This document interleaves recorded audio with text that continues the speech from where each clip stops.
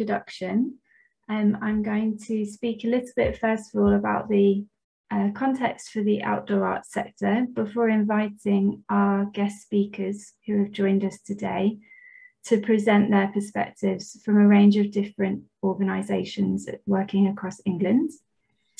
Um, as some of you will be aware, we had our session yesterday, so thank you for joining us uh, to meet all of the other participants on our programme.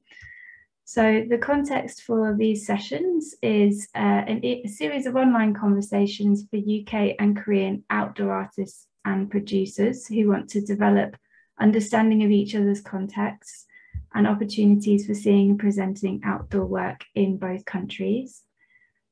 Um, we've designed this programme to support people who are ready for international touring and would like to build the skills and knowledge required for building those international relationships. This activity is being coordinated by Xtrax and is part of our wider Global Conversations programme. Um, this was developed in response to the events of 2020 and the pandemic and has been run as a series of online conversations for international colleagues to continue conversations and facilitate information sharing um, and build new relationships, even though we can't meet in person.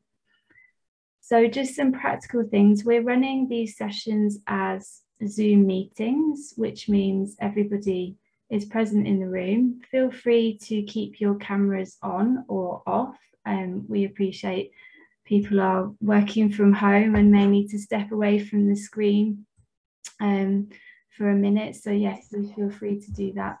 Um, if you could just keep yourself muted, just check that you have your audio muted just to avoid any background interruptions.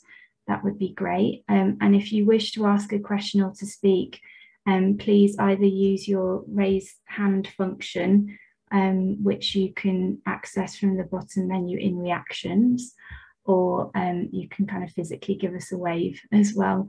Um, and I'll be inviting people to um, pose their questions to our panelists. Um, so I'll indicate the appropriate moment to do that.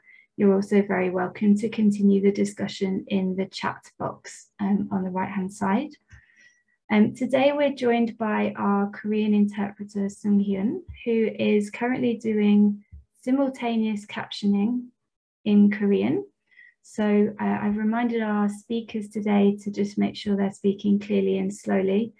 But again, an invitation to any of our participants for whom English is a second language, please do feel free to ask questions or ask for clarification um, if you're not following what's being said um, and we'll do our best to support you with that.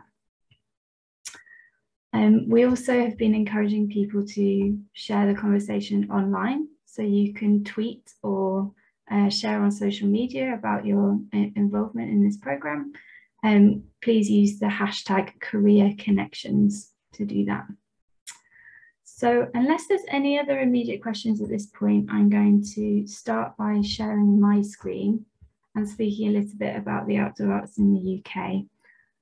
Uh, so before I do that, can I just, I'm just going to look around the room and just check no one has any queries at this point. No? Okay, perfect. So one second while I do this.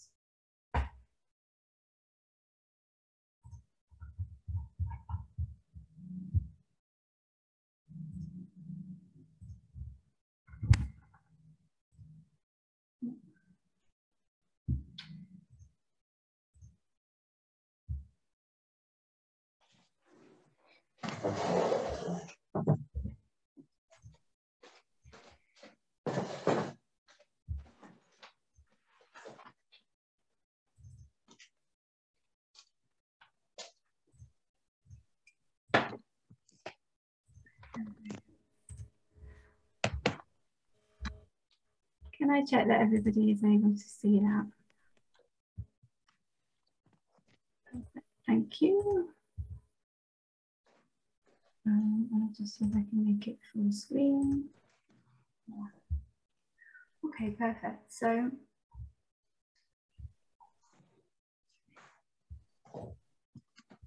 a little bit first of all about Xtrax. So I'll start with a brief introduction to our work, although I'm aware some of you are already familiar with us.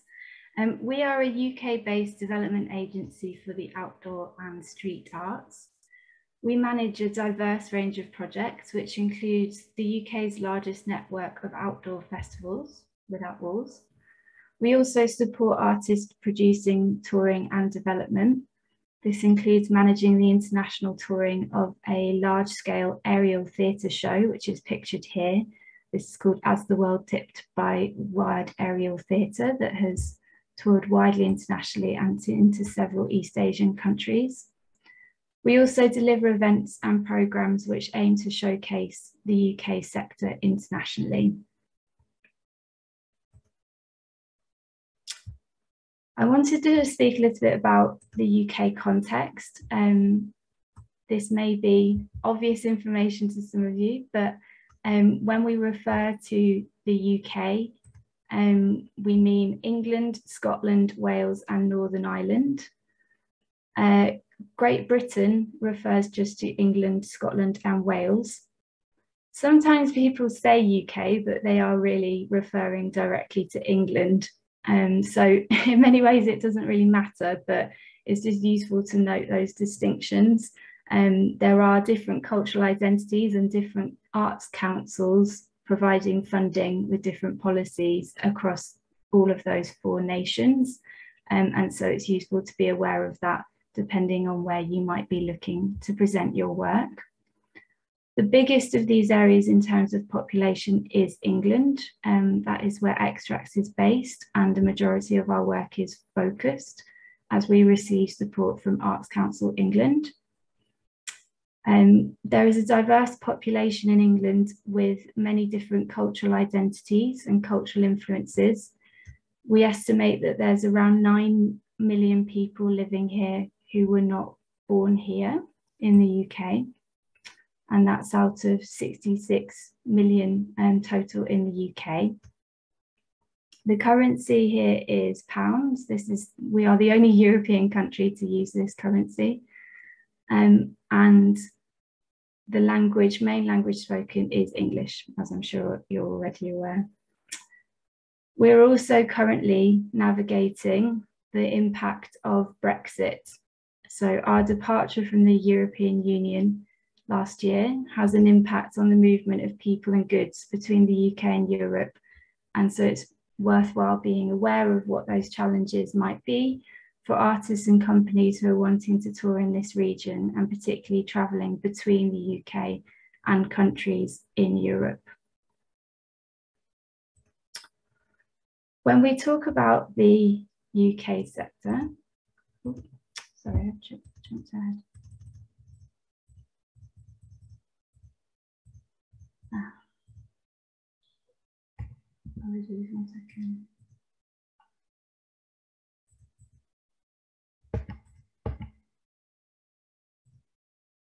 Sorry, it's just throwing me out. One second, everybody.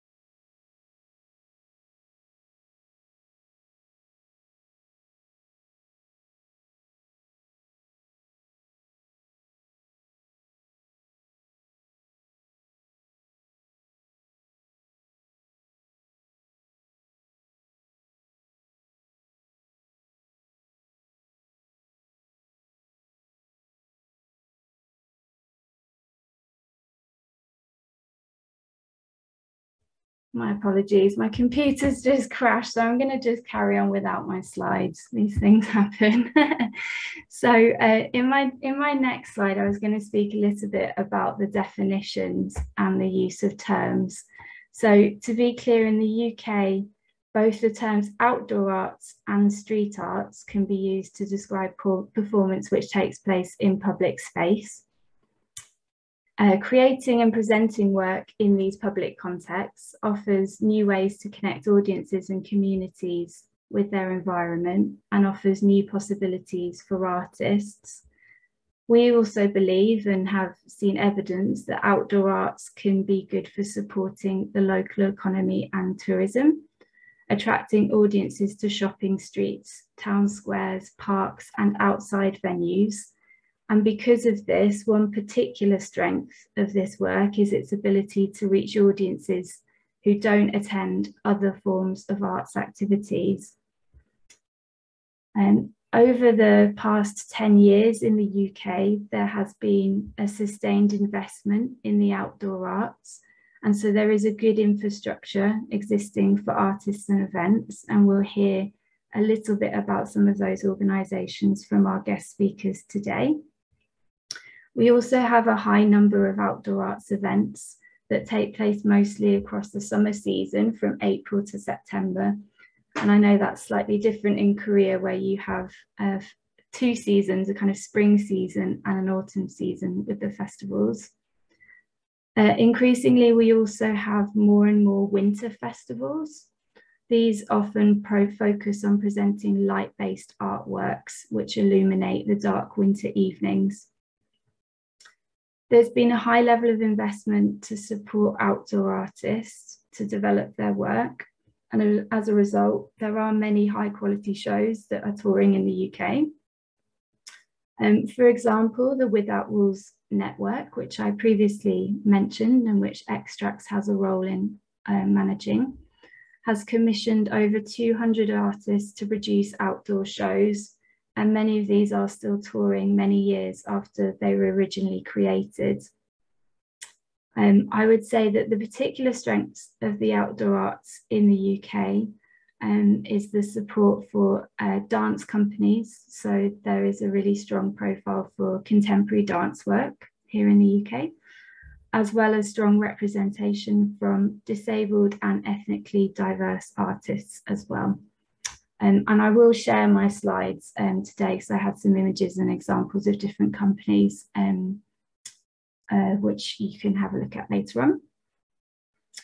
Um, I've mentioned Walls a couple of times and it's useful to be aware of what that is. Um, it's the largest network of UK outdoor festivals. This currently includes 35 organisations that are working across England to present a, a real mix of different programs taking place across the year. Um, we invest funds from the Arts Council of England into curating a programme of outdoor work, which is commissioning artists to create ambitious new projects that then go on to tour across the network of festivals. We also invest in research and development opportunities for artists and festivals which includes training programs um, and funding research and development for artists to develop ideas and practice. This is uh, referred to as blueprint funding, our blueprint program. So collectively, as a network, we're helping to develop strategic areas for the sector as a whole. Um, so looking to create examples of good practice, for artists and festivals when it comes to areas such as environmental sustainability, um, digital-led work, um, accessibility for disabled and deaf audiences and performers, and also audience development. Um, obviously, like many of us here, um, our work was affected last year by the COVID-19 pandemic. Um, but I'm pleased to say that during 2021, we've actually seen quite a strong return of the outdoor arts sector, um, with many events starting to take place again from May of this year. Um, there were also a few festivals who managed to deliver scaled down events last year, at the end of last year in 2020, um, including the very first one to return, which was Greenwich and Docklands International Festival. And we have Bradley here with us today, who I'm sure can tell us a bit more about um, the context for that. we've obviously had to consider how best to manage during these times and to deliver events safely. So this has included limiting audience numbers, introducing ticketing, um, hygiene facilities and encouraging people to wear face coverings. Um, it's also been interesting to see how festivals have changed their programs. Um, so perhaps following a more decentralized approach with performances taking place um, across locations and scheduling or out into local community settings. Um, so rather than the kind of large mass gathering of people in central areas, there have been smaller, more intimate audiences engaged in different neighbourhoods. Um, obviously, of course, this has really limited the potential for international touring here. And um, so many of the festivals have not been able to present um, international programs where they might have done before. And so there's been a greater focus on UK artists. But of course, we hope that there will be a recovery over the next two years and that we will be able to invite international artists back in.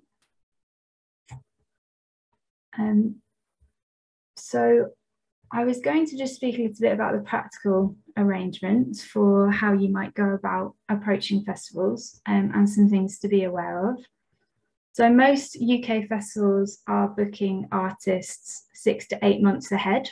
So for summer festivals in the UK in 2022, many are looking at booking now. Um, I would suggest that you uh, can contact the, e the festivals by email. Um, we have uh, a range of directories online through Outdoor Arts UK and Xtrax and Without Walls, where you can see the range of festivals that are out there and also identify the key contacts um, for each of those events. We strongly recommend that you prepare some high quality marketing materials um, of the show happening in performance um, and also preferably with a film trailer, a short one of around three minutes. Um, and you can send these via email directly to promoters here in the UK. Um, lots of promoters might not book an international show they have not been able to see, but if you have a good film, then that can really help. Um, and obviously, given limited travel at the moment, um, I think this is uh, people are more open to booking work that they haven't been able to see in real life, as it were, in person. Um, we'd also really recommend that you have a good quality full length film of your show. Um, so it doesn't have to be um, super high production, it can just be one single camera end on um, to your show being run through. Um, but it can do consider how this gives an impression of the work. Um, we would also expect to see a technical rider so this is a document um, which provides technical information for your show and practical requirements, such as the number of people on tour and the travel requirements of those people. For example, if you have a company of six people who will require travel from Seoul to the UK, whether cargo is required if you have any set or props um, that you must carry with you, and the festival um, festival will need to know how, how much they will need to provide in terms of accommodation um, and other subsistence, so catering and so on, and any technical needs um, for your sound. Um, we have templates um, actually at Xtrax that we'd be happy to share with companies who are looking to, to develop these documents for the first time. Uh, most shows that take place at UK festivals are between 20 to 50 minutes long. Most are around 30 minutes. Usually companies would be expected to do two shows a day. If the show is shorter in time, then maybe that would be three. Um, walkabout and strolling shows, so shows that kind of move through space or promenade, are normally expected to go out three times a day. It's worth being aware that in the UK, in midsummer, it doesn't get dark until 10 p.m. at night. So many festivals will be finishing by 11 p.m. and there are very limited hours where the festival is on that there is darkness. So you need to be aware of this if you are looking to present work that requires darkness. Um, for example, light-based work. This may be only um, practical for a limited number of the summer festivals. Later in the year, by September, it does get dark earlier, so that's, there's more flexibility, um, but it's a useful point that sometimes can be overlooked. Uh, the weather here is also super changeable, so um, it can be very hot, but it can also be very cold.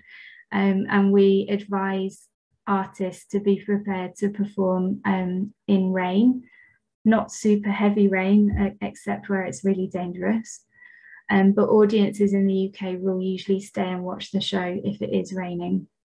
And we would suggest that you consider how you might adapt the show to perform in different wind and rain conditions and be able to explain that to a promoter. Um, you will also need to provide a risk assessment um, there's quite strict health and safety rules here in the UK that we have to um, follow. And so again, it's useful to check out what the differences might be um, and make sure that you're providing the information required to assess the potential risk to artists and public from your show and how you will um, put measures in place to ensure that it can operate safely. Again, there are templates available um, that can help to, to put these documents together. For an international company, if you're coming to the UK for the first time, it can be quite hard to structure a tour. Um, and so having a producer or a tour manager working with you can be really helpful in that sense. But obviously it requires time to identify that person and set up that relationship. Um, when you're looking at uh, if you have a secured performance uh, in the UK, then promote your performances to other festival organisers um, and consider what else you might be able to do whilst you are in the UK. So consider workshop opportunities, for example, um, indoor shows or residencies so that you can build a schedule that um, allows you to make the most of your, your trip to the UK um, and also promote um, your performances. So make sure that other festivals know that they have an opportunity to come and see your work whilst you're here in the UK.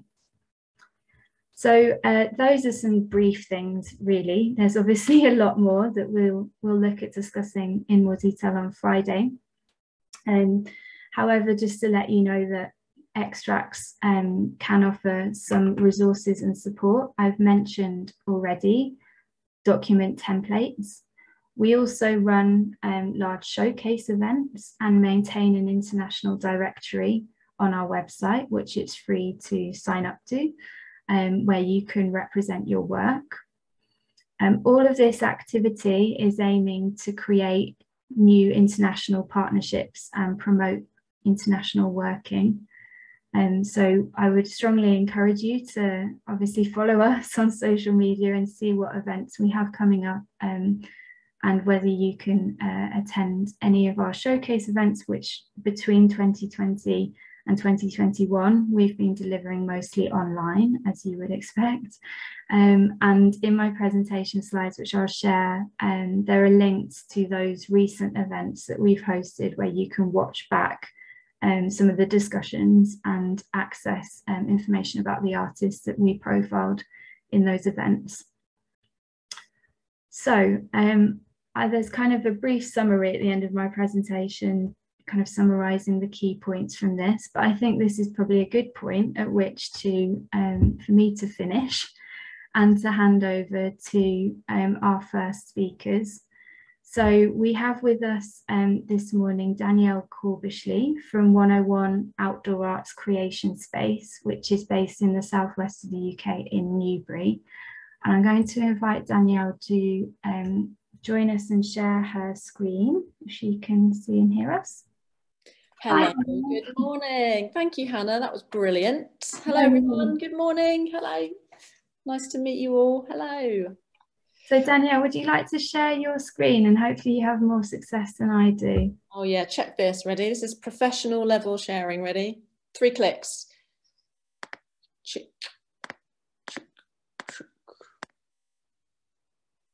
Done? Ta-da! Magic. Yeah, that's great. Thanks, Danielle. Thank you, Hannah. That's brilliant. Thank you very much. Um, yes, my name's Danielle. I'm the head of 101 Outdoor Arts Creation Space, as Hannah said, which is um, uh, a wonderful facility in the south of England, um, probably about an hour's drive from, from London, between London and, and Bristol along the, the south. Um, I'm very, I'm, I've been to South Korea twice actually, I'm really pleased to say. Uh, once to, to Uijeongbu uh, Theatre and Dance Festival, with uh, an amazing outdoor pyrotechnic show called 451 with Periplum, which was a few years ago, which was a fantastic opportunity. And also randomly, years ago, uh, to visit the Samsung head office uh, in, in Seoul with my mother, who was a graphic designer, and we designed the international um, exhibition stands for Samsung. So I had this amazing trip when I was 18 to South Korea um, then we drove uh, down through the country to visit their, their sort of the village where they make all of the white goods as well. And we stopped off at some really lovely places uh, along the way too. So well, I'd love to I'd love to come back come back soon. Um, and I welcome you all here as well. If you're ever making work for the outdoors and public space and would like to come on a fantastic international residency, I would invite you to come here to join us at, uh, at 101 but yeah, so we are, we're a, a national centre uh, for the development of work for the outdoors and public space. Uh, we're a 20,000 square foot uh, fabrication rehearsal facility where artists from all over the world, predominantly the UK, but uh, we do have lots of international artists, come to stay with us on site um, in our on-site accommodation and rehearse in our uh, multiple rehearsal spaces, uh, some small, some very large, um, to, to develop ideas and to come together and to, to devise and to craft and to make and to, to rehearse. Um, we are part of uh, uh, an, another organisation called the Corn Exchange, which is a regional theatre in Newbury, which is a 400-seater uh, regional uh, regional um, receiving house, and we're, we're, part of a portfolio, wider portfolio of, of organisations. Um, although we are um, independently run and we serve the, the national community, but we have this interesting relationship with this regional theatre in our area where we share resources uh, and also present some work locally. Um, so I'm going to just talk to you a little bit and, and, take you through some slides from different activity that's happened here. I'm not just going to focus on the, the ambulance. That's quite an un unusual, interesting one to start with. I'm going to talk you through some of the activity that has happened here um, over the last three months and give you an idea of some of the things that we, we do to support artists in our, in our sector. Um, but there are three strands to our work, three main strands. The first is artistic residencies. The second uh, is professional development training and supporting artists through learning and teaching. And then the third strand is an outdoor programme of work, so events that we present uh, in our local community. So with the artistic uh, residencies programme, artists come to stay with us for up to normally two, one to two weeks. Um, so we have 15 accommodation cabins on site here. So uh, companies of 15 or more, when we have two people staying in the same cabin, uh, can come and, and live on site and fully immerse themselves in their rehearsal process. Um, this is Kathy Hinde, who is a, a sound artist who has come um, a number of times to work in our fabrication workshop to design and make these fantastic sound installations that she installs in botanic gardens and, and other locations. And we have artists from across disciplines. Um, so companies who are making dance, theatre, mime, puppetry, sound art, installation art, all kinds of interesting interdisciplinary practices uh, come to, to make work for uh, at 101. Um, and they get, then go off and present their work in the wide range of different environments and contexts that exist within the outdoor arts um, sector within the UK. Um, so that includes festivals, but also town centre events, uh, local small scale touring to, to rural communities through some of the rural touring networks that exist in the UK. Um, companies making work for other site specific contexts. So that might be woodlands or old, you know, disused swimming pools or factories, uh, artists making work in the landscape or, or in other um, in other interesting and un unusual and creative contexts.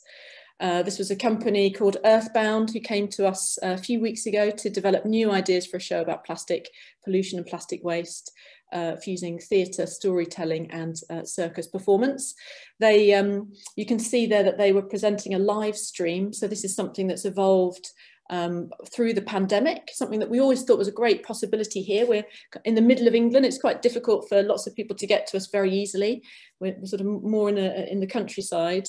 And so actually delivering a program of di digital sharings has been really successful and companies have been able to invite quite, you know, quite significant numbers of people to watch a digital sharing of their work uh, whilst they've been in the building. So that's a great outcome of the last year that we're going to continue to, to develop and support artists in, in creating but yeah, so a very, di very diverse and broad range of different types of companies coming together and wanting to use our facilities. Um, you know, it's lovely. This was a, a, a collaboration between Upswing and Unlimited, uh, two national organisations who came together to do some very early R&D, some very, very initial experimentation, uh, looking at um, XR, so looking at VR and augmented reality and how that might, how they might be able to combine those technologies um, with an interesting outdoor uh, circus theatre presentation. So just very early experimentation. Other companies come just to use the workshop, so just to design and fabricate. We have a lead artist here, Martin West, who's a fantastic metal worker and engineer.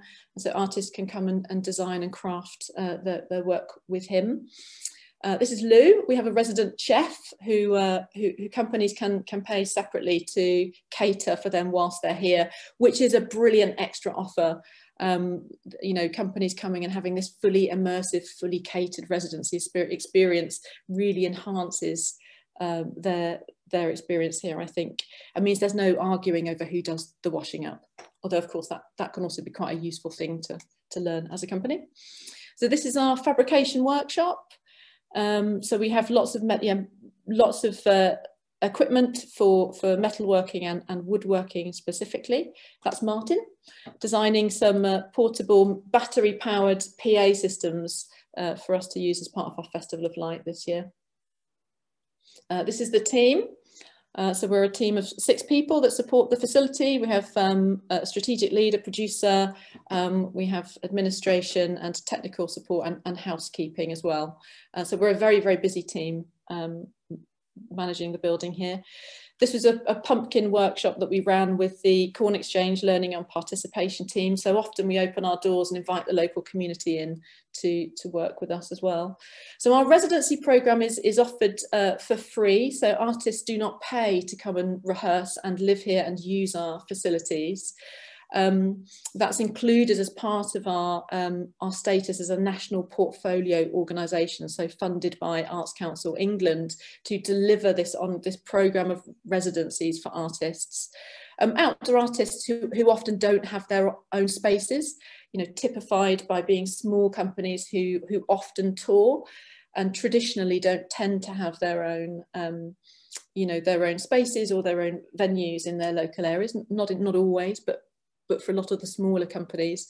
And so having having a, a centre here and other similar to other creation spaces in the UK, you know, we provide this this really needed um, space and opportunity for artists to be able to really develop their ideas, um, uh, come together and, and make work. Um, we do have one funded strand of residencies called the Seedbed Residency Scheme, where we support artists with cash as well as um, the facilities and additional support here as well. And this is uh, an artist called Ling Tan, um, who is developing a, a, piece of work that uses these interactive um, sound and light tubes and recording stories with audiences um, and involving them participatory in, in the in the experience of the piece as well. And we supported her throughout, throughout the year um, to develop her ideas, to think about to different contexts, um, and then specifically to come to 101 for residency where we brought in uh, lots of participants for her to experiment on and test out her ideas. Um, so supporting her in a, a slightly more in, involved way to develop that, that piece.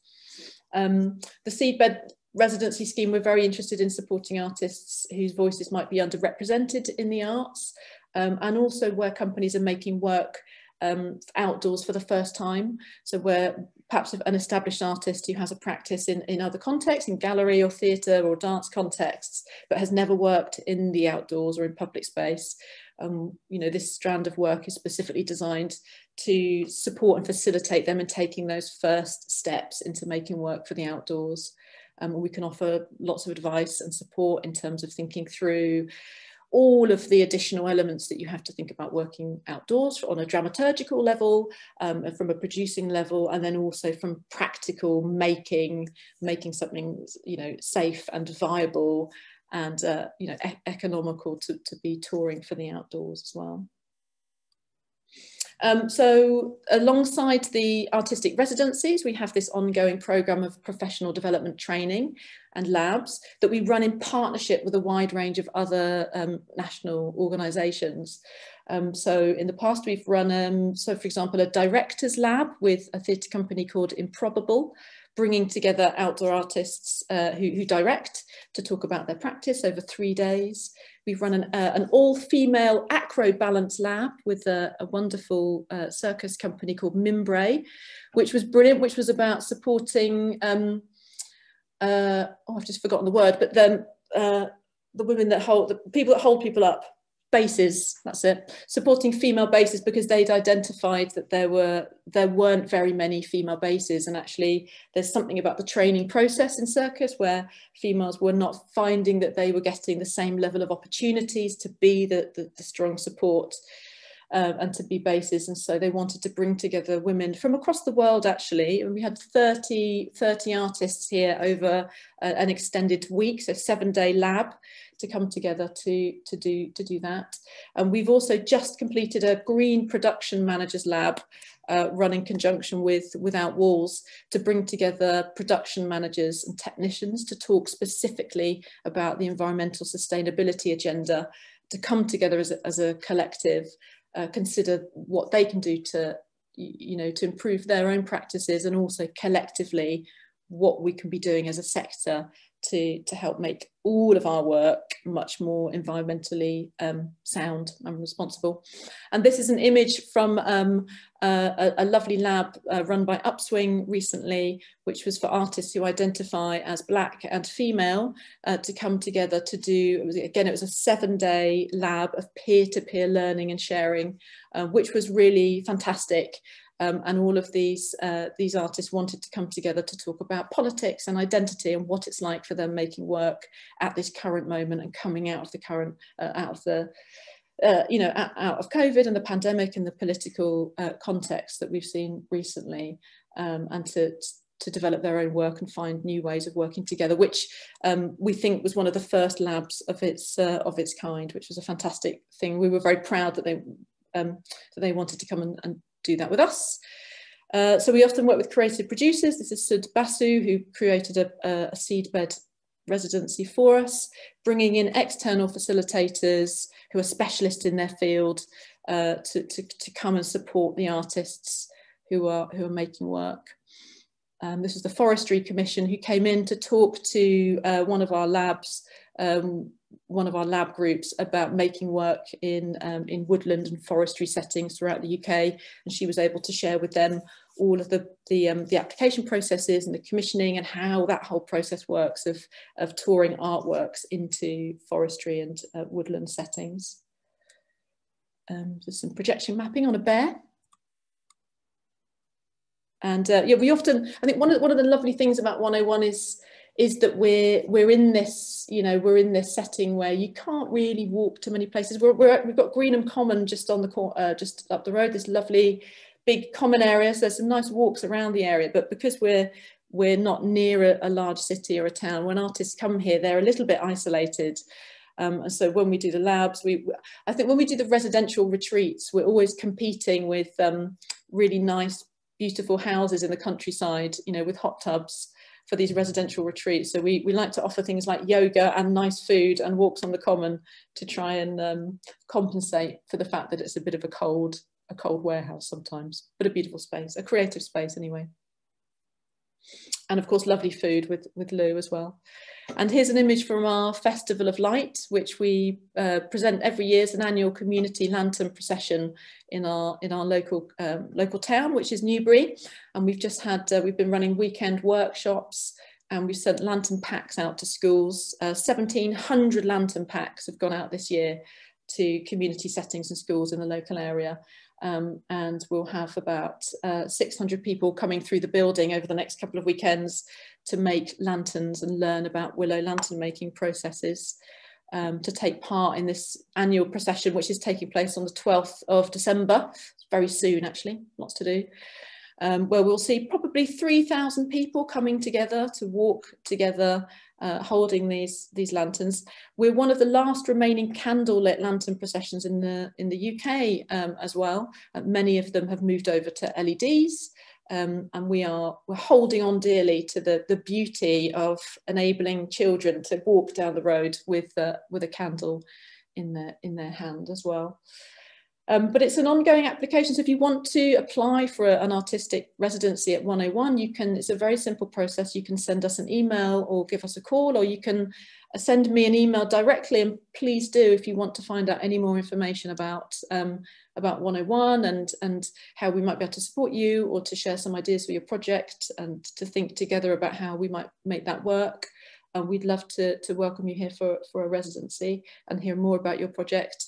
And we have a rolling program, a rolling application process throughout the year. So you can email us at any time and uh, we will then begin a conversation, um, you know, at any point, you know, a year before your project, or even if you're suddenly coming to the UK and you, you know, you want to come and have a couple of days or come and have a look around, we will try and, and make that work for you as well.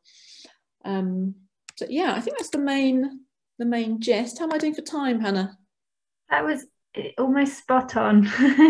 exactly the right amount of time.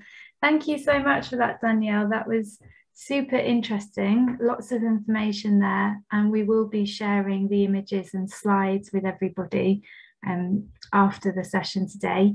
Um, also very useful for everybody to note that there is an invitation there to connect with Danielle. Um, so I'll post her email in the chat um, and that you can contact at any time without waiting for a structured open call or uh, application opportunity to reach out to 101 and see whether there might be opportunities. So lovely open offer there to consider.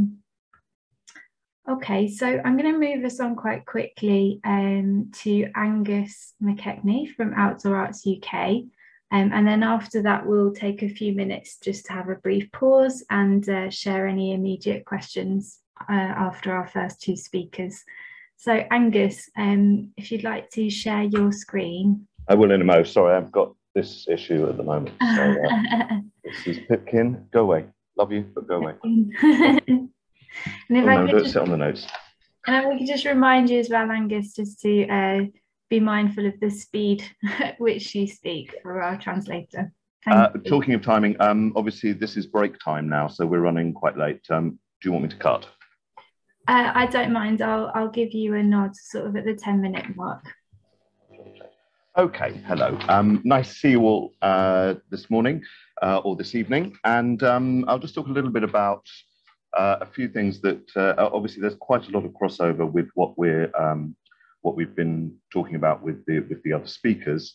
Uh, but what I thought I'd do is I'd just do kind of another spin. You probably had enough of them on what uh, we're terming as outdoor arts in the UK.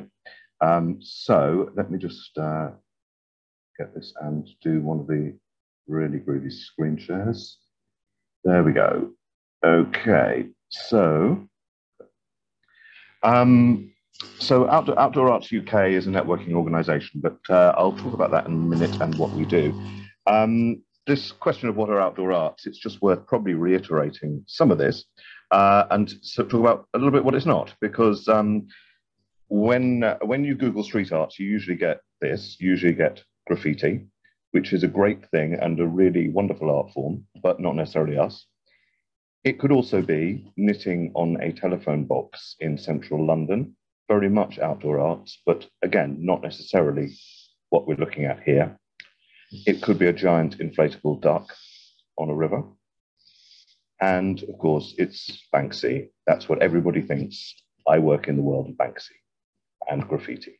Not the case.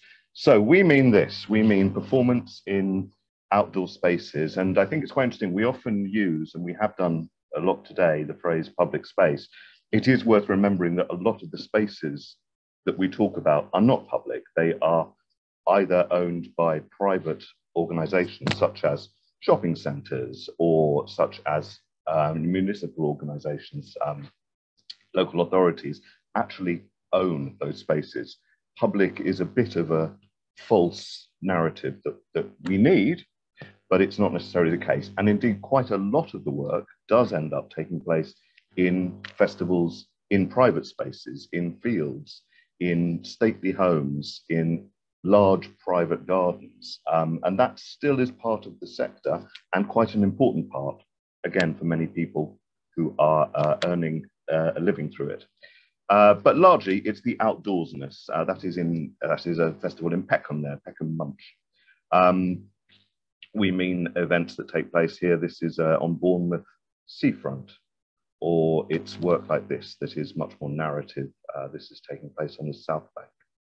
Um, pyrotechnics, big spectacle feature a lot. That's um, that's where I used to work, and that's almost 10 years ago. That's when the Olympics were here. That's the National Theatre in central London, which used to have an outdoor arts program. Um, we mean this is a dance company. We'll talk about them in a minute. This is them performing in Spain in a festival in Tàrrega. Uh, and where? So just talking a bit about that. Often it's in streets, very often in parks, in public squares uh, that may be local authority run spaces, a roof of a car park, on a river, in a town, in a major city, that's central London, in a small village, uh, in a field festival, again, would almost always be a private event. Um, festivals in high streets or in historic gardens, that again would be a private event. Uh, uh, that's a very much a, a, a touring circuit uh, in processional work, quite specifically. Some events are simply processions, not, not festivals in that sense. But there are carnivals, which also take place in streets, and melas, which will be, again, probably ticketed and to a kind of private crowd. Um, and just in terms of the art form, there's quite a bit of theatre, puppetry. Music is, is obviously a key part of outdoor festivals, um, but there is a large crossover with what we call the outdoor arts sector. Uh, dance features hugely, uh, that was already mentioned uh, by Hannah. Uh, cabaret comes into it. Some of the cabaret artists will, will take their work outdoors. Uh, pyrotechnics are a very important part of the work. Simple plain comedy. In fact, there's quite a few people who sort of more on the comedy circuit sometimes venture outdoors. Disability arts, again, Hannah mentioned this, has a strong place in the outdoor sector. Uh, visual arts has a sort of crossover. This is a very obvious one that has painting in the show, but some of the installation work is from the visual arts world. Um, circus features, lots of circus. Oh, so much circus. Circus is a huge uh, part of, of the, the, sector and, and, one of the kind of quite specific areas we probably cross over with a lot. Um, I'm just going to take a little pause there, and just because for timing's sake, um, and we'll come back to this. Uh, but what I'll do now is I just think I need to unshare and just bring up a different screen. So I'm just going to take you through, I'm going to use um, our website to take you through a little bit more about the first uh, question we were looking at, which is uh, OA UK, Outdoor Arts UK, uh, as an organization uh, and what, what we do. So let me just re-share my screen. Um, and so this, this here is, is, our, is our website, which kind of gives us our identity. Um, largely. And we have three strands you'll see. One is the public face of Outdoor Arts UK, which is uh, probably largely about us sharing information with the general public, with our audiences, with people who might come and see shows or buy tickets. Uh, and we run two very distinct social media uh, handles. One is for public information, come and see this show. This is what you'll get. This is who's in it. And then the other side is our professional side, which is very much for the sector and for the artists and for the producers to have a look at opportunities that are available for funding, for work, for R&D, uh, jobs, huge, huge, huge amount of jobs at the moment uh, available in the sector. Uh, and those two are very much our, our different strands. And then the third part is our members and what we offer as a network. So primarily OA UK is a network of um, people working in outdoor arts. And it's really important that as a network, we include artists, and that could be an individual busker working on their own. It could be a large company. Hey, Motionhouse just popped up on my screen. It could be a large uh, company like that. But included also in the sector is the festivals themselves, is independent producers, is technicians, is health and safety advisors, is agencies, is other organizations such as Xtrax uh, who work with, who work in the sector. And so in that sense, as I said yesterday, we're an umbrella to kind of keep everybody in one, one dry place, but we're also a crucible, a bowl where we would hold people and hopefully encourage that networking. And we do a lot of work about, largely it's often about us saying we don't know the answers, but we know the people who do. And that's kind of really strong function of what we do. Um, the other, I mentioned the information. Um, so I, I will just talk about, uh, so this is the public listings. Um, if you can see, does that come up as a change of page? I just, is that okay? Yeah, we uh, yeah, can yeah, see that. Yeah. So this will be a long list of what's on now. And I would, if you want to find out what's confirmed, as soon as we get a confirmation, as you can see at the moment, most of them are saying Christmas at various venues because it's that time of year. If I go through to the fourth page um, of this, this is a rolling updating document. Uh, and this will take us through to what we have here. Bradley will be talking later. GDIF has confirmed its dates. Fira Tárrega in Spain. Here are some going into um, uh, September. And um, I go back a page. It's just a very, it's as soon as we get it, this is up to date. And this is really good public resource, but actually very good professional report, resource to find out what's what's confirmed and going ahead, especially at the moment. Um, very important to, to, to know these. For example, that, that little listing for Mouth of the Tyne has been sat there for a year because it unfortunately was unable to go ahead last year. Um, and then if I just uh, close that and whiz through, this is the professional version of that. So this is a list, a listing service again for people working in the sector in some form. So this will be at the moment largely free webinars um, and online events uh, and any other courses or training opportunities that come. We're quite broad in what we select. If it's got a vague cultural interest, it might not be specifically for outdoor arts, but it may have an area. This is, um, for example, this one at the Albany is a pitching session for work that engages the public. It could well be indoors, but it could also be outdoors. So we will include that. We keep that as broad as possible. And um, we're going as far ahead as possible. Um, we'll talk about NASA UK in a minute, um, uh, but they're you know right the way through to the Tárrega Professionals Program. Um, and in terms of other networking, uh, uh, the, the, broader shape of the sector, let me do that. Um, so this is our partners page. Here is the Circostrada network, which uh, I know Xtrax as well as us uh, are, are a, a strong um, connection. That's a European and now international network run from France uh, with EU funding, and we're still allowed to be in it despite Brexit. A very useful network, circus and street arts, um, very much the European phrase street arts, uh, in one organization there, and they do big international conferences alternating between circus and street arts each year. In the UK, we have the Creative Industries Federation, which is a cultural organization uh, that's about making the business case and was quite an important uh, partner during Brexit, um, during a lot of the early discussions once that uh, went through. Uh, we are a member of the Independent Theatre Council, and some of our members are, if they feel they cross over more into the theatre world. Uh, it's quite a broad definition of theatre, uh, but a very useful professional resource, very good on legal matters and contracting. Um, our friends in ISACS, the Irish Street Art Circus and Spectacle Network, um, again, Xtrax and uh, ourselves have a very strong relationship with them. Um, they look after Ireland as opposed to Northern Ireland, but they do look after Northern Ireland a bit as well. Um, Carry On Touring is something that is a, is a response to Brexit, which is a, a lobbying organisation, which again we've been part of um, in terms of trying to make the case for increased access to the touring market in Europe and vice versa. Um, the other uh, so the UK, um, Hannah brilliantly kind of summed up the UK and what it means in Great Britain and England and all the rest of it. there are other networks. So in Scotland, there is Articulation Scotland, which looks after circus, outdoor arts and spectacle uh, in Scotland. Um, so, so we have a relationship with them. Articulture in Wales is again a, an umbrella organisation, quite specifically though, for outdoor arts in Wales. Uh, we've worked a little with the busking project. This is an area which doesn't come often into the funding world. And we actually reached out to them more during COVID because we had some funding to give anybody working outdoors. And I was very keen that people who were buskers on the street had access to those funds. So um, they, they don't necessarily fit into to the Arts Council, England, and, and the other devolved uh, countries funding, but they, they still are an important part of our sector. They are working outdoors. NASA, the National Association of Street Artists, has been going a long time and is a very much an artist organization.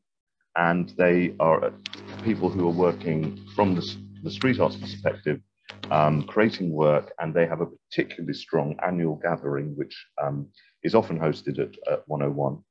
Uh, and they get together with artists. I've been along too. Um, I know people in Xtrax have been along. It's, it's a, a, a very supportive but very much artist-led uh, organization. Here, I'm not going to summarize, but I obviously put Without Walls and Xtrax as key partners um, in the sector. I'll just mention three more, which is one is Attitude is Everything, which is um, an organization which works on festival access for deaf and disabled people, for both artists, but more particularly for audiences. Much more in the music festival circuit, but some excellent crossover and really good advice and, and guidance there. The Audience Agency, um, produce lots of reports across um, sectors about uh, how audiences behave and who they are, but they have included outdoor arts within that. And um, Julie's Bicycle is an organization looking at environmental sustainability within the cultural sector. Again, they've been partners on many other projects. So I'm just aware of time. So I'm just um, going to just run through these last bits. So here's our members. Um, there are actually, I think, 305 members at the moment. And as you can see, just as I scroll through, they take all sorts of different shapes and forms. Companies, individuals, producers, and Upswing is so good, we listed it twice. Um, so that, that and, and, there's like individual producers in there, uh, as, as well as uh, big festivals and companies. Um, and that becomes a key, that listings becomes a key document for us.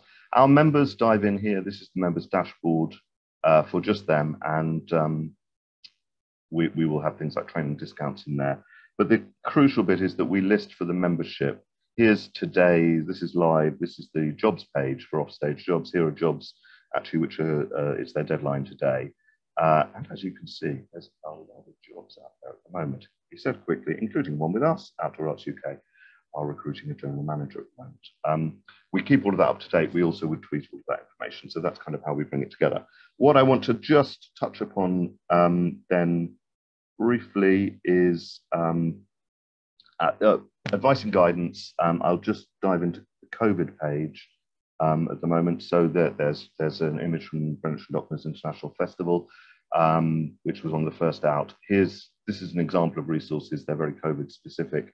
Um, uh, and various web webinars and reports and uh, examples of contracts and things that we did. That that kind of crosses over. We but a lot of the advice is live. Um, I, we do one-to-ones with our members and beyond the members. Um, we uh, probably it's fair to say it's, if we looked at that, uh, we talked about um, being part of the carry on touring. That's very much an advocacy part of our work and doing things that we can to shape the identity through social media of the outdoor arts as a sector, uh, increasingly getting recognized. And then we also, like, a, um, like many of the organizations, we have an important role in events and meetings, uh, bringing the sector together. A lot of it's been online. Um, we probably will now do a big event later in uh, 2022. Um, I just want to mention, finally, um, it, it, there, there's an increasing um, uh, making spaces, creation centres network coming up, which is great, um, as well as 101, which has led the way for many years.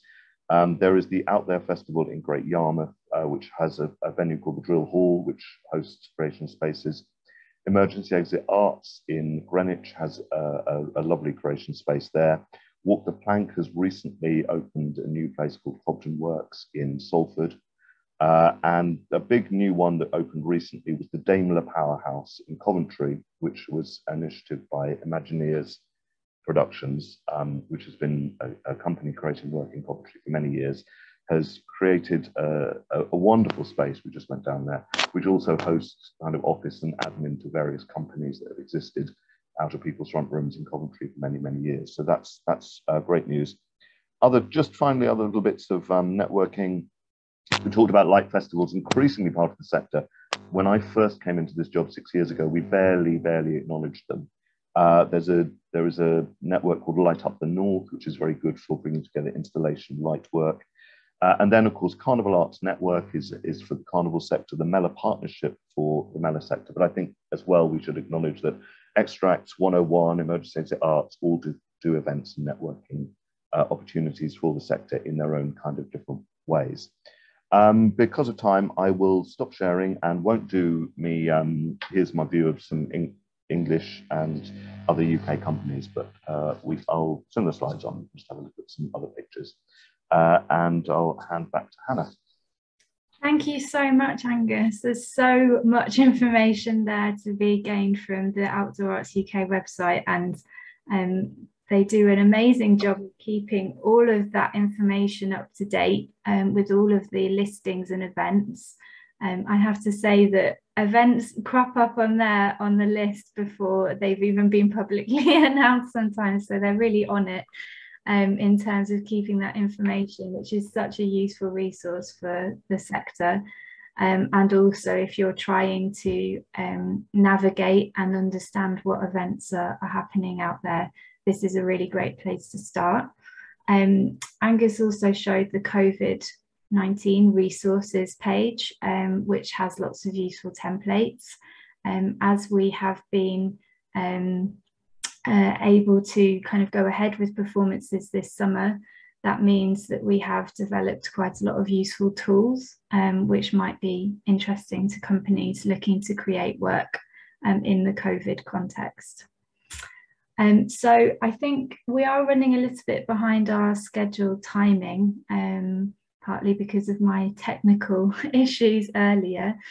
Uh, could I just, I just want to invite very quickly um, any immediate questions and if there aren't any, then we'll just move to a short five minute break um, and then come back and hear from our other speakers and then use the remaining time left to have um, more opportunity for questions.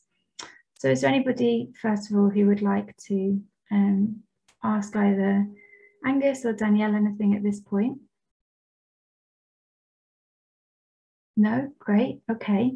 So uh, let's move and just have a, a short break. Um, so please feel free to turn your cameras off, get up, move around, stretch, um, get yourself a, a drink. Um, and if you could join us again, we'll start again at 10 past um, 10 in our time, which is uh, 10 past 7 in Korean time.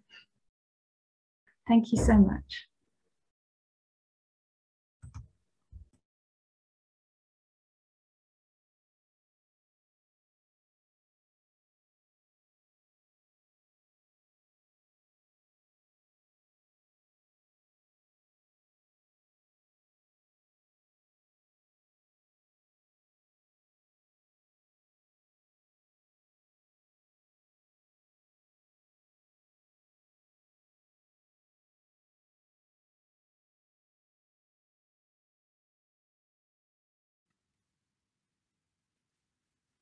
Hi, Angus.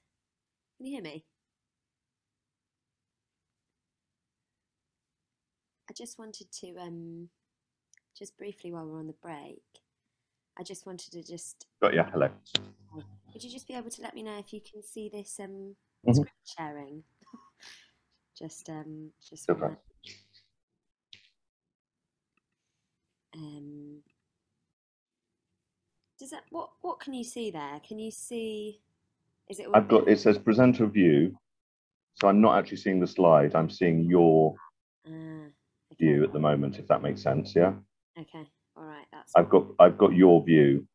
Mm, what a pain. Um, Um, oh, because you've got notes. Yeah, you've got speaker notes at the side. Yeah, I can see them. So that right. would that would ruin all your surprises. I know. I might just have to do it though. 'cause- Anyway. All right. Thank you. Nice to see. I, I've only seen you at a distance. I've been waving at you under the giant puppet for weeks. I know. What a time, eh? Yeah, crazy. Um, yeah, it'd be good to catch up. To catch up at another point. Yeah, no, that's good. Well, it seemed it, it's it. I mean, it seemed to go really well. It seemed to go really well by the time we reached it in London. Yeah, it was good. It was um, it was all of the things, but it was pretty amazing in the end. Yeah. Um, Right. but yeah. All right. I'll see you in a mo. All righty.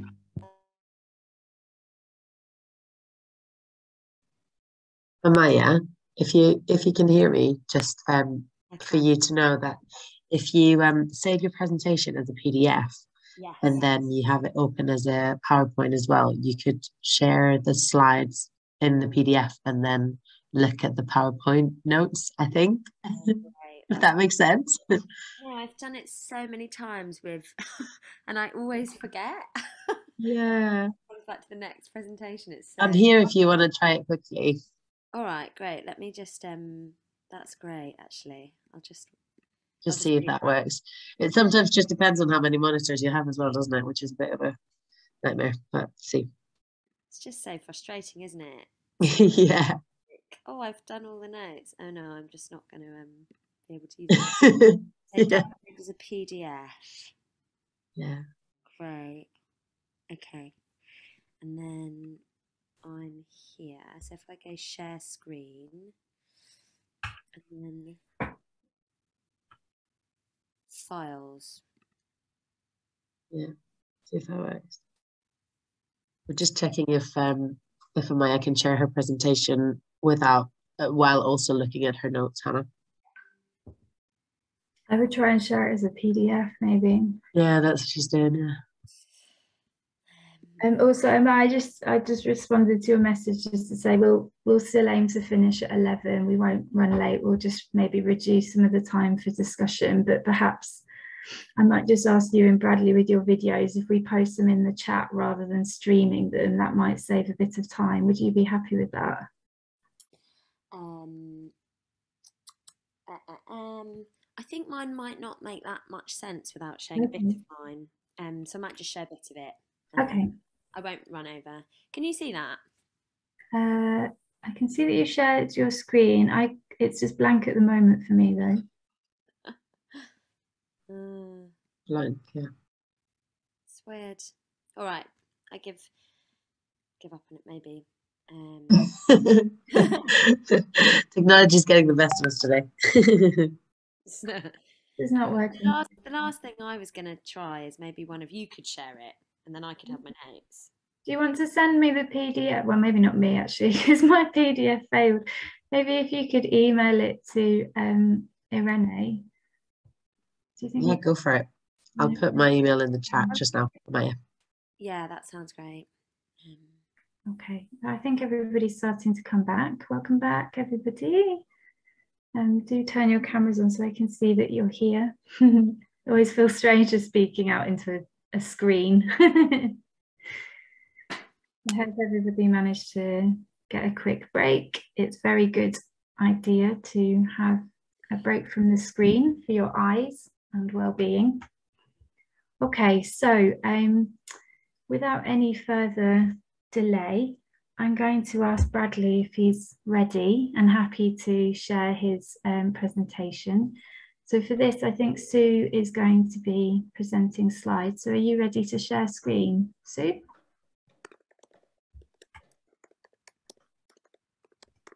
And Bradley, I have your video link here, so I'll pop that one in the chat just now. So yeah, over to Bradley. Good evening, everybody. Um, wonderful to be here.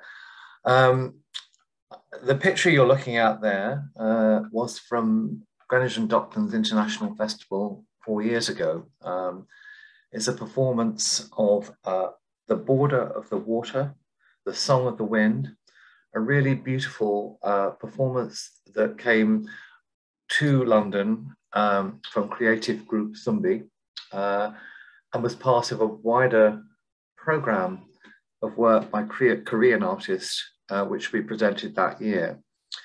I think it's a great picture because it shows one of the values of the festival, which is to try and create some real um, magic and uh, dynamism between the artistic vision of the artists that we work with and the place in which we set we set the work. So you're looking here at the performance um, from creative group Sumbi, framed by a view across the whole of London from where the festival takes place in Greenwich.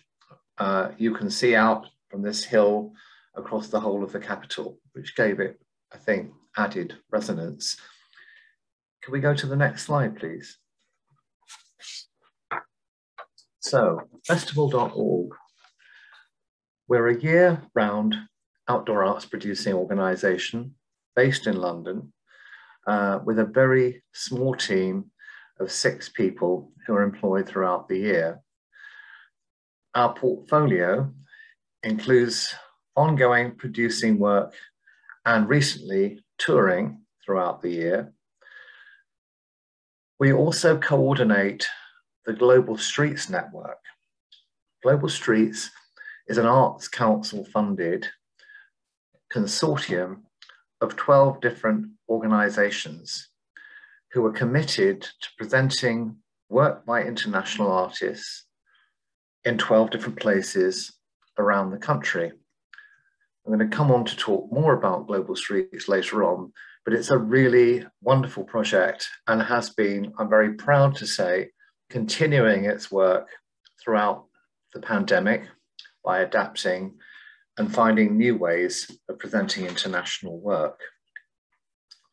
We also undertake consultancy work, uh, by which I mean we use our same skills and expertise in running our outdoor arts projects at Global Streets and at Greenwich and Docklands International Festival to commission for other organizations.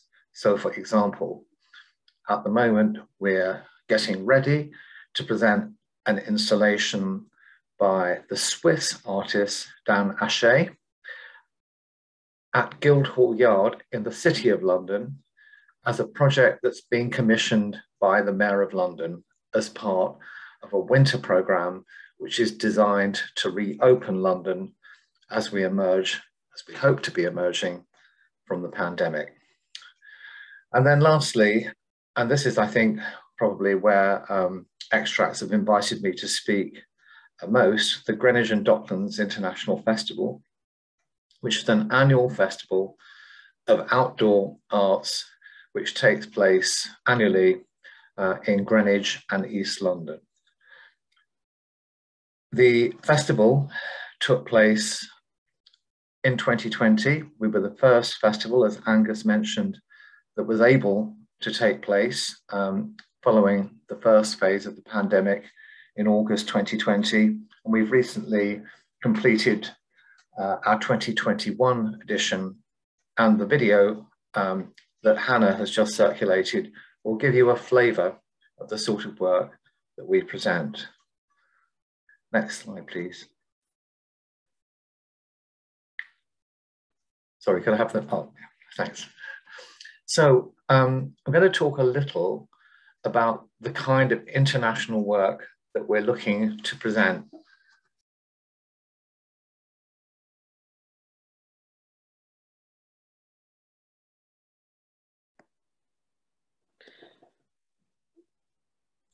Sorry, am I, am I back on? Were you hearing me before?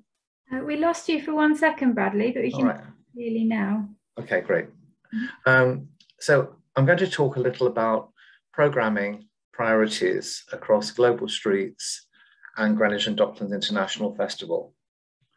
Global Streets, as I mentioned, is a consortium with 12 different partners made up of art centres, festivals, and local authorities from across England.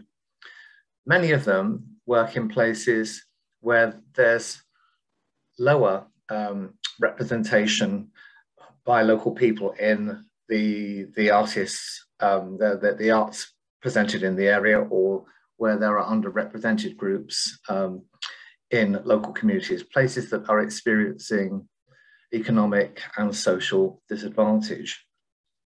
So when we're looking at international work, we're looking for things that I describe as being permeable. By permeable, I mean things that audiences and participants can engage in and also potentially shape. So in the images there, you can see uh, the building with the frame structure on the top and a person standing in the doorway there. Um, this is an artwork uh, from a Belgian choreographer called Joanne Leighton. It's called The Hull Vigil. Uh, and it's an architectural structure that sits on top of um, a tall building in Hull. And every morning and every night for 365 days, uh, a representative of Hull, a local person, stands in vigil watching over the city. At certain points, there are rituals and events that take place beneath the Hull vigil, but this is a program that's caused a huge amount of local interest, of engagement, and pride in the city of Hull. So it's an example of that sort of permeable work. And also, I think, very interesting in the context of both the pandemic and in terms of the global climate emergency, that this is something that we can create with an international artist and international designers, but without necessarily having to move international artists and objects and set across borders. So it's a very useful model to think about. We're also at Global Streets looking for work which re resonates in terms of contemporary themes and concerns. So um, particularly following COP26 um, earlier in November, we are very mindful of, um, of engaging in climate change in a meaningful way. And the artwork that you see at the top left here, uh, Dan Acher's We Are Watching, toured to a number of global street cities before heading to Scotland for the COP26 Global Summit. It's a giant eye made up of thousands of selfies and portraits and invocations to global leaders in Glasgow to effect the changes that are necessary. So coming on to GDIF, um, our program takes place over a very wide area. It includes a program of theatre, dance, circus, and recently, um, much more durational installation work and that's arisen out of the pandemic. We found that presenting those large scale uh, performances in public squares that might last for 40 minutes and draw an audience of 5,000 people in the current circumstances are much less sustainable. So we've been focusing much more on nighttime and indeed daytime installations to which people can safely come over a longer period of time.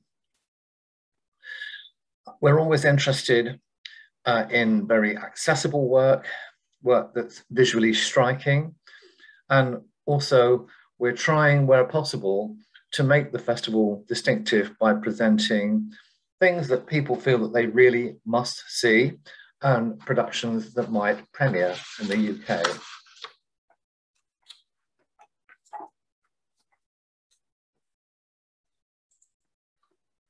Okay, could I have the next slide, please? So um, in terms of our approach to the program at GDIF, London is a uniquely globally connected city and the boroughs in which we work in Greenwich and East London are profoundly diverse and represent people who from, from countries all over the world. So for us, as we approach the programming, it's very important that we reflect the people and we engage with the people of East London and we tell the story of the place in which the festival takes place. So the festival really belongs to East London.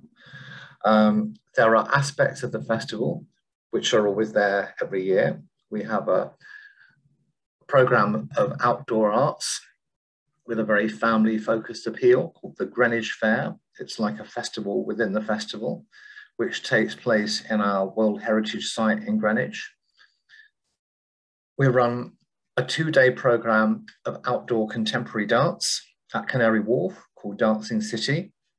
And the company that you're looking at at the bottom there, uh, Modern Table, performed at Dancing City in 2017. As I say, installations are increasingly important for us following the pandemic. So too, uh, and Hannah referred to this earlier on, are performances which take place at very local level so that people don't have to travel very far to see the work. It's work that happens on their doorsteps and it's work that engages with audiences who may not normally attend the arts. The other thing um, that is important for the festival is narrative. We're very keen to tell stories and uh, that becomes an increasingly strong focus for us as we go forward through these particularly difficult times. I'm going to go slightly faster now, just to mention um, two models. We're currently in a two-year cooperation agreement with the Ministry of Culture in Flanders and developing a strong focus on Flemish work uh, for 2022 at present. We really like working in this way so that we can really dig down and embed relationships within the festival much more. And this was very much the case back in 2017, when, as I mentioned, we worked with Xtrax to develop a focus on Korea. Uh, so then if we move on to the final slide, please.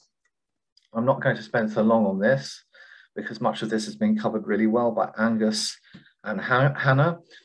But I will say um, that um, it's useful to know that the Arts Council, who are the main funding agency uh, for outdoor arts in the UK, have published a 10-year strategy called Let's Create, which focuses on three main outcomes.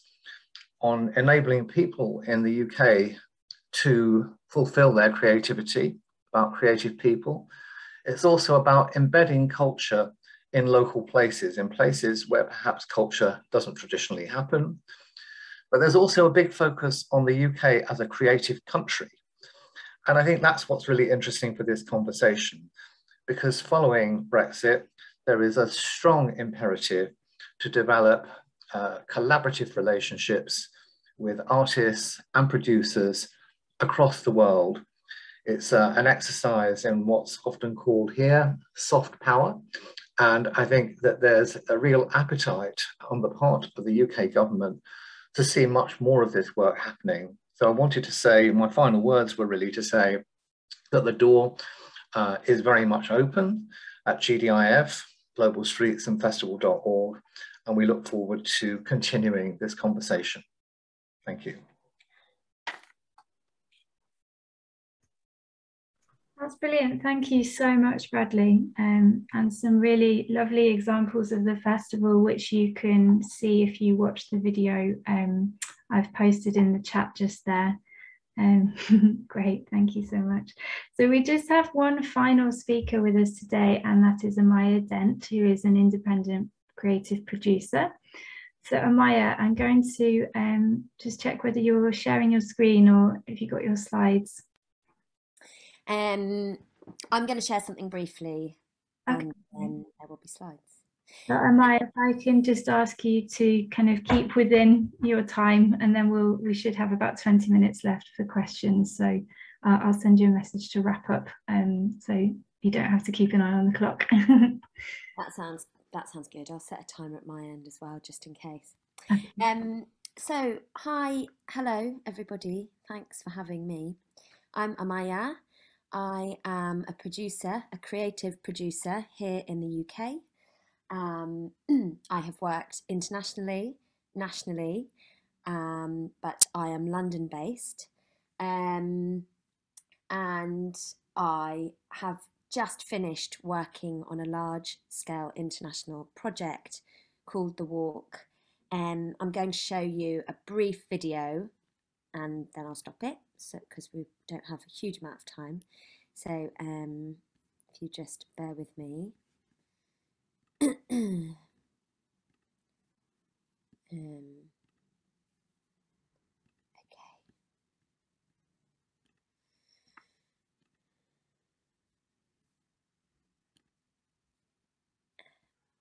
Great. Can you see the Vimeo window? Um, I don't think I can actually, Amaya. Okay. Well, maybe don't worry about it then. It's a bit classic, isn't it? Oh, Do you want to maybe post, share the link with me and we can pop it in the chat? yeah, I'll do that instead. Um, okay, here we go. I'll put it in for everybody and then maybe people can watch it in their own time. Um, do you want to share? Would you mind um, sharing my presentation slides? That'd be all right. Thanks so much. Um, so, um, I've just you'll you can watch the video afterwards, but I have just finished working on this project called The Walk. The Walk was an international travelling festival of art and hope, which was centred around a young woman, a nine and a half year old girl, a Syrian unaccompanied minor refugee, um, who was in search of her mother and walking across many countries along a route that many thousands of refugees take almost daily. Um, in search of hope and in search of a, a, a better and easier future. And little Amal um, is was also a giant puppet, a three and a half meters tall puppet, um, operated by four. Um, and yeah, you can you can watch some footage of her afterwards. I think you would enjoy seeing it. Um, could we have the next slide, please? Um, I'm just going to talk a little bit about um, why I love working in the outdoor arts sector and just trying to set the scene a little bit of what the sector um, feels like here to me, my experience of it um, as an independent producer. Um, uh, the outdoor art sector here is incredibly diverse. It's the most diverse art form that we have here in the UK. Um, we've talked about the fact that lots of things happen um, in public space, or at least in open space, and uh, in spaces like the streets and shopping centres and parks that everybody has access to. Um, and what is amazing about that is the fact that you get very um, off the cuff, curious interaction with the work. Um, people will come round the corner from the shops and experience something that they didn't know was going to be there.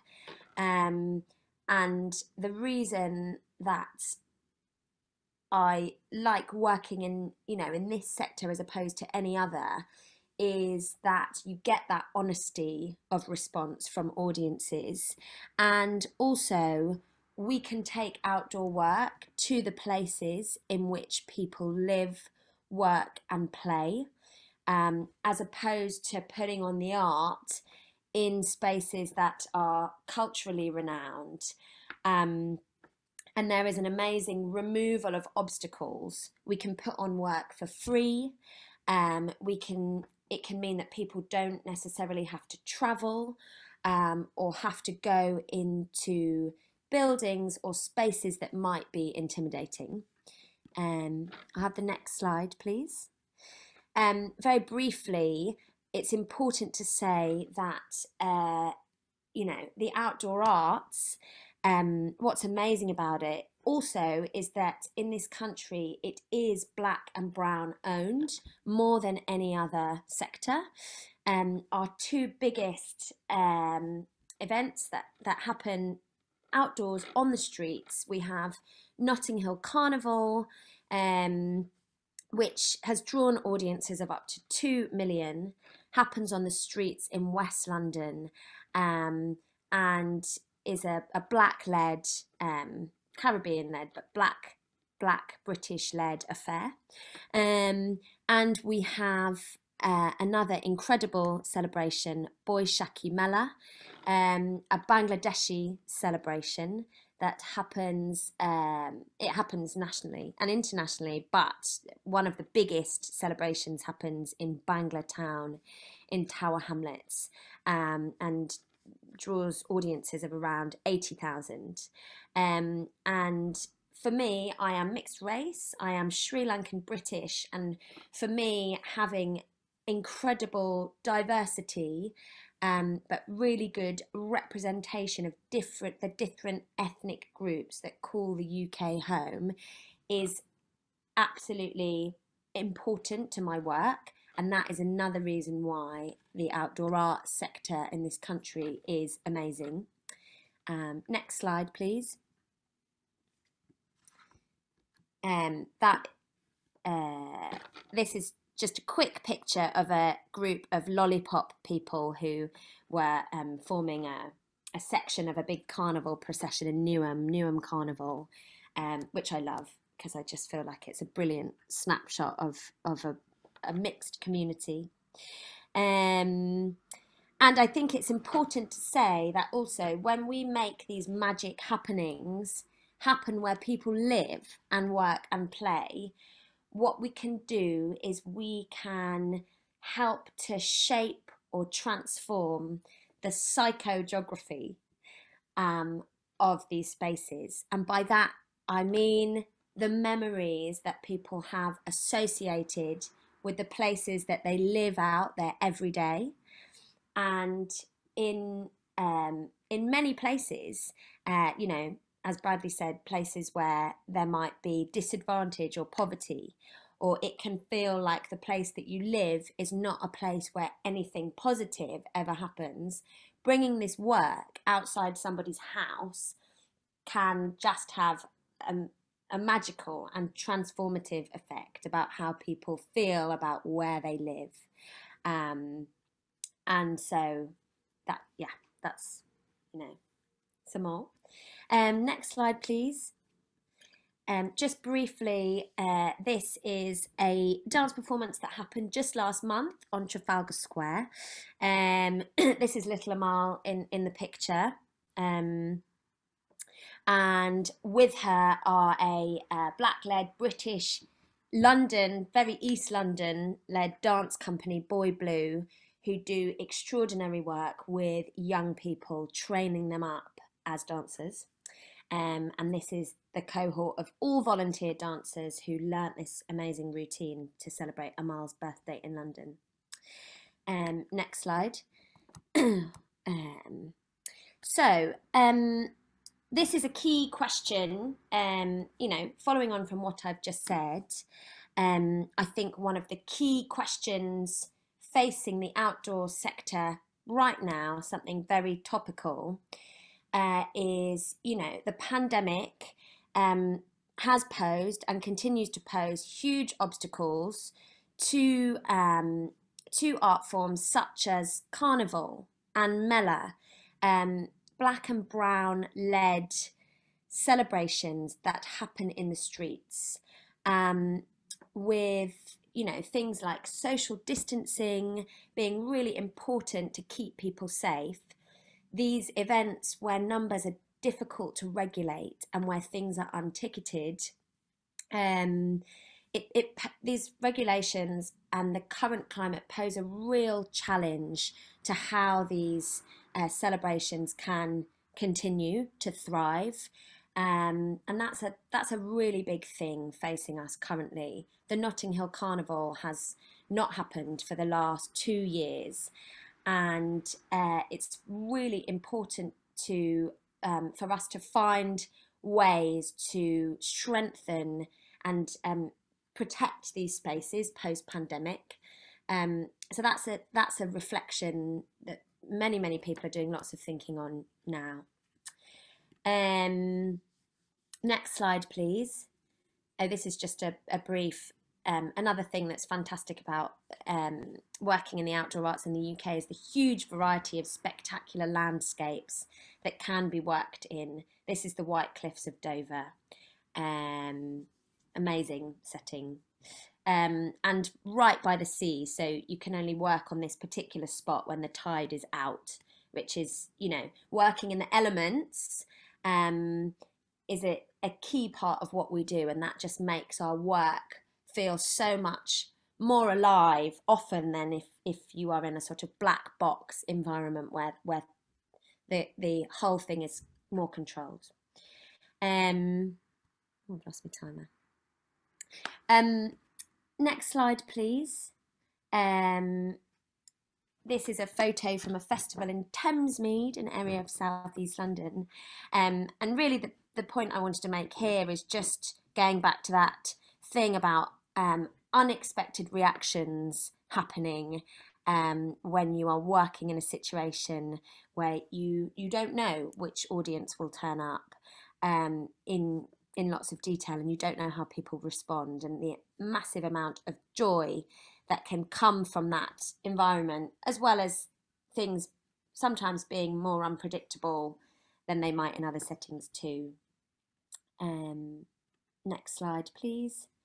Um, and the next one, actually.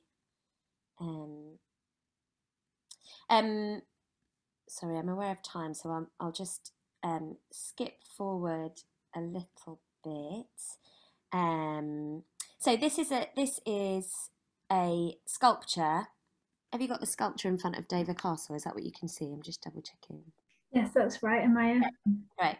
Um, just very briefly, the reason that this picture is important is because this is a large scale sculpture that was built by a um, Syrian artist collective called UV Lab. Um, these artists define as refugees. They no longer live in Syria. They are based respectively in Paris and Istanbul. Um, we brought them to the UK for this commission as part of the walk. The sculpture was built on site at Dover Castle, which is the second most visited tourist attraction in the UK.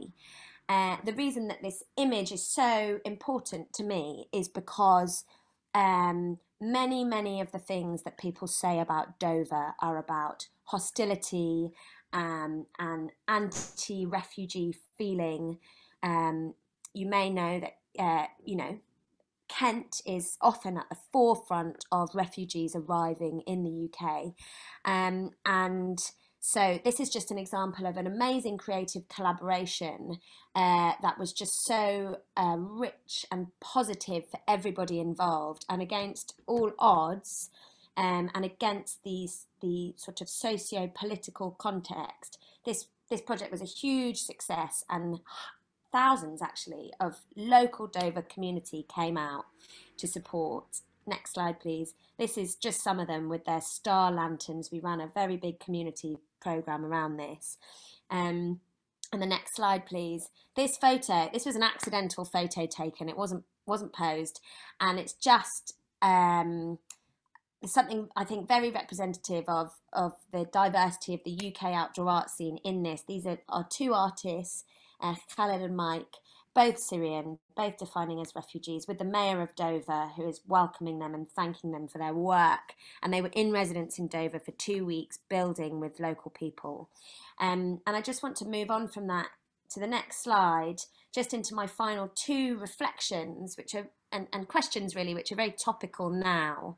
The first is uh, thinking of um, COVID, but also of of the climate and climate chaos um, you know, there is there there there there is a, a push really and a steady moving of really thinking about um, you know if if artists are going to be able to to travel from further afield less in the interest of trying to protect the climate if it's going to be harder um, to really bringing as many international artists from far away, then how can we ensure that artists from the global south um, are going to be really as represented as they should be um, on the UK's outdoor art stage? um, because um, it's absolutely it's key that these that this work is bought here and that the, these stories are told um, and you know because it will help us here in the UK to uh, to have an improved sense of understanding of these key global conversations around climate change and around so much else. Um, so that that's another kind of key question of our time in the outdoor sector here. Um, I'll skip I'll skip the last. If you just go to the last slide, and I can share the presentation with you, and you can explore the rest because I'm short on time. Um, very briefly, I've just put in some good sources of support, some links here, some places that I go that are rich resources um, uh, and will be good for support and really good for you better understanding the lay of the land in uh, in the UK. Um, and so uh, I think I, I, will I will wrap up there. Thank you. Um, thanks for having me. Um, my next uh, role is that I'm going to be. Um, I've just started actually at LIFT at London International Festival of Theatre, um, and I will share that link as well because they are very interesting to have a good explore of. Um, so yes, thank you all. Thank you, Amaya. That's brilliant and really interesting to get a brief snapshot of some of the projects that you've been working on here in the UK. Um, okay, so I think that leaves us with around 15 minutes to just open up the discussion um, and invite any questions. Um, this is an opportunity whilst we have our, our brilliant speakers here with us. Um, if there was anything that you wanted to ask them um, following their presentations, then um, I'll just kind of invite you to, to come forward now. So please just raise your hand. Um, yeah, if everybody, if you'd be able to turn your cameras on, it'd be great just to see who we have in the room. Hello.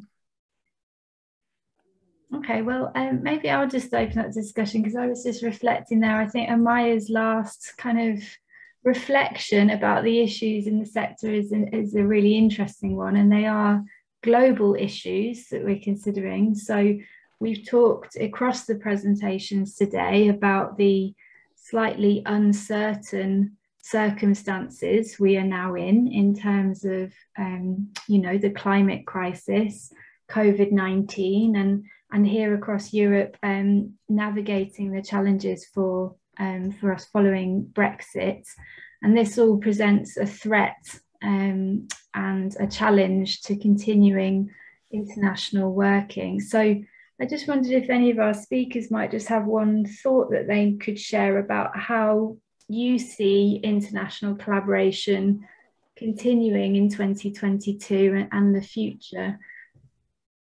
How do you think that we can continue these these relationships in different ways?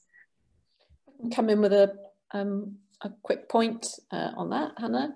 I think um, it's been really, what's been really interesting is seeing the number of companies and artists coming through 101, um, talking about wanting to make work that's socially engaged, wanting to make work that makes a difference, that helps to make the world a better place.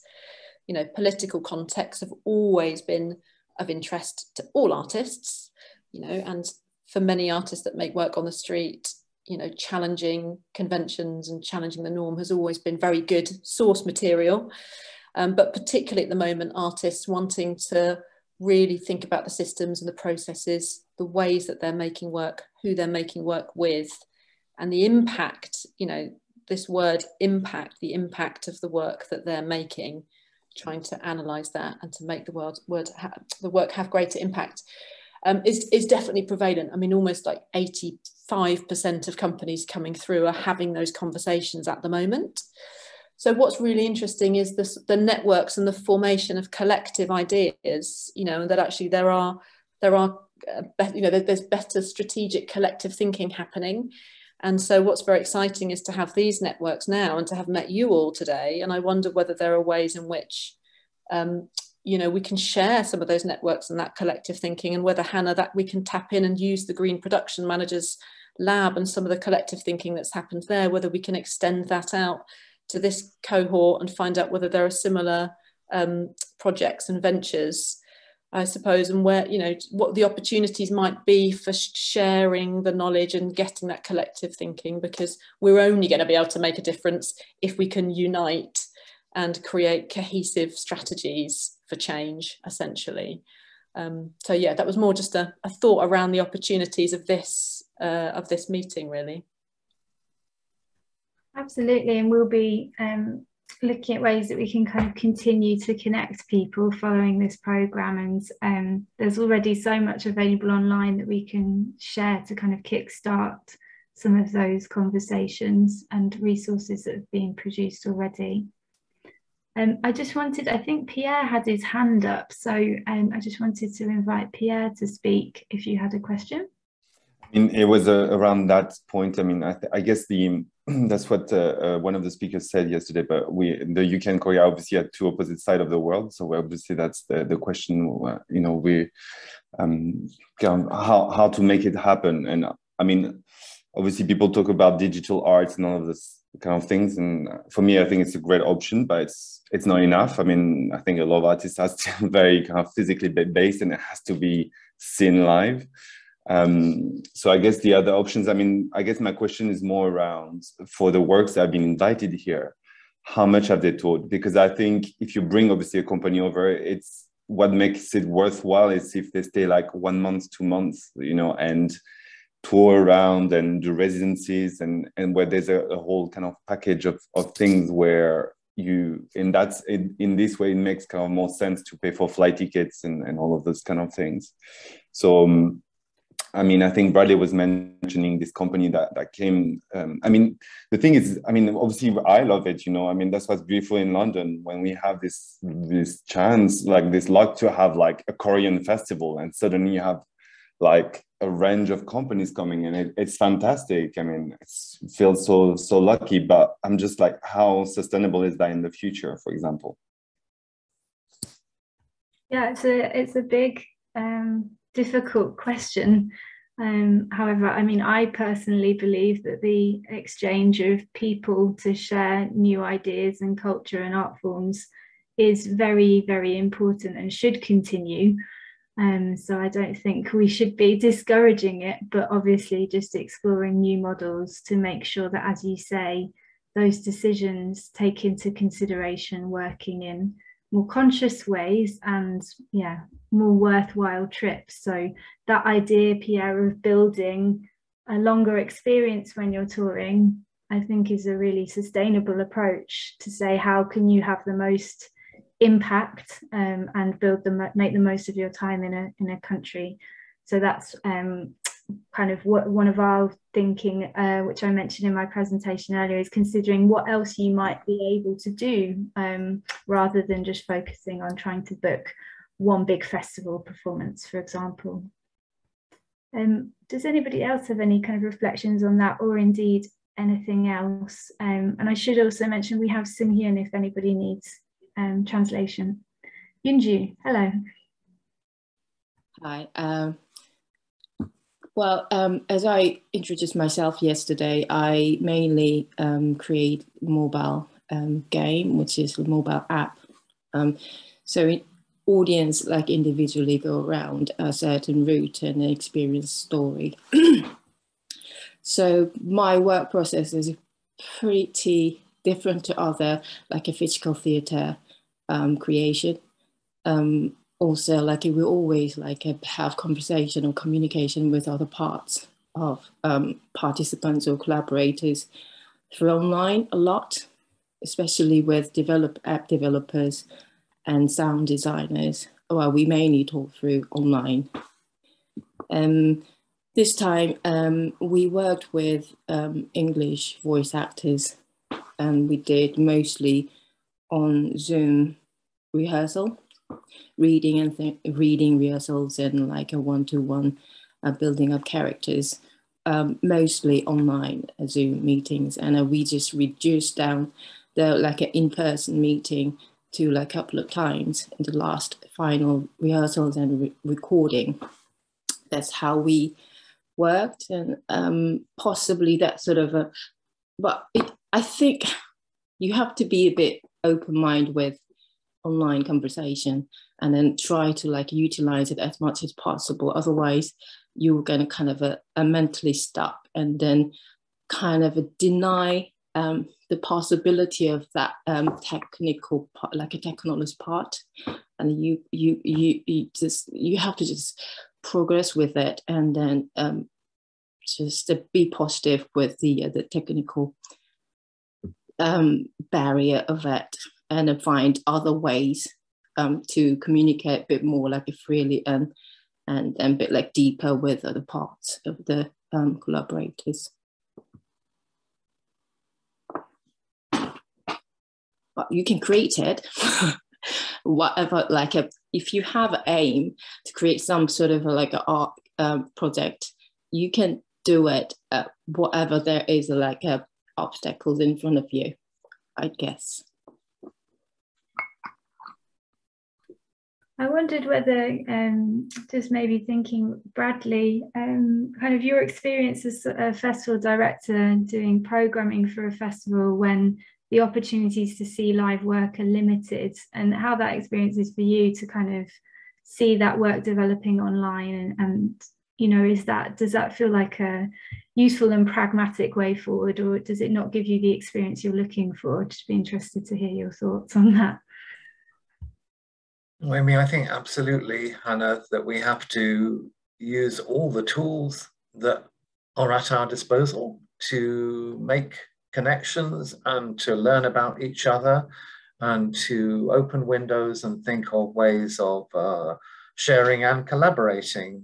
I think, as I was saying when I talked about Joanne Leighton's work, um, there are ways, um, and and digital and the gaming idea that we've just heard of would be one such way, in which you know the the people and the and the objects, the set, the equipment don't have to move across borders, but the concepts, the ideas, and the creativity does.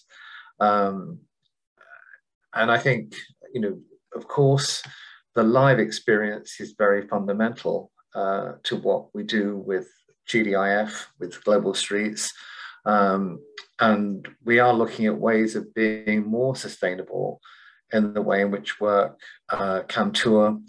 Uh, so that doesn't mean just touring in England. We have a very close uh, series of relationships, particularly um, in Flanders, but also um, with Paris, uh, whereby we're sharing um, work uh, and, and making a kind of wider uh, touring uh, proposition uh, a possibility. So, um, but these are all, you know, we're all feeling our way in very new territory and we're all um, learning together. Great. Uh, Irene, hello. Hi, I was just going to build on that um, that point actually that Bradley just mentioned, just to remind our um, Korean participants that even though the UK is no longer part of the European Union, we are still in Europe. So the proximity with other countries in Europe does kind of um, bring more possibilities in terms of thinking about a sustainable tour. And I think, as you were saying, Bradley, there's you know the the outdoor art scene in the UK and in Europe is very well networked. You know, we all kind of know about each other. And I think that's one of the strengths of it. And um, certainly to utilize the connections that exist in the UK to also um, use that as a platform for a wider kind of international strategy is something that I think is crucial when we're considering our environmental responsibility. Sorry, I have a very croaky voice today. I can see as well there's just a comment from um, Jin that she's just posted in the chat. Hello, Jin. Um, so I think uh, Jin was sort of raising a concern there around, um, you know, the reality for emerging artists having the same access um, to be able to develop their practice and respond to these challenges, um, which I think is a, a useful point to note. But I think a few of our speakers have, have touched on how, um, you know, especially here in the UK, there are a number of organisations working to support entry to the sector for new artists. and invite new um, art forms and, and, development of that practice um, to keep it evolving over time. And, and so I think um, programs which focus on supporting emerging artists are, are very important and identifying resources to do that. I think we do recognise that. Um, I wondered if um, anybody else um, in the room here who perhaps hasn't yet had the opportunity to tour their work internationally might have just any questions that are coming up for you about, you know, how is there anything you you're worried about there or, or not sure about how to go about that that you think um, we might be able to help answer today?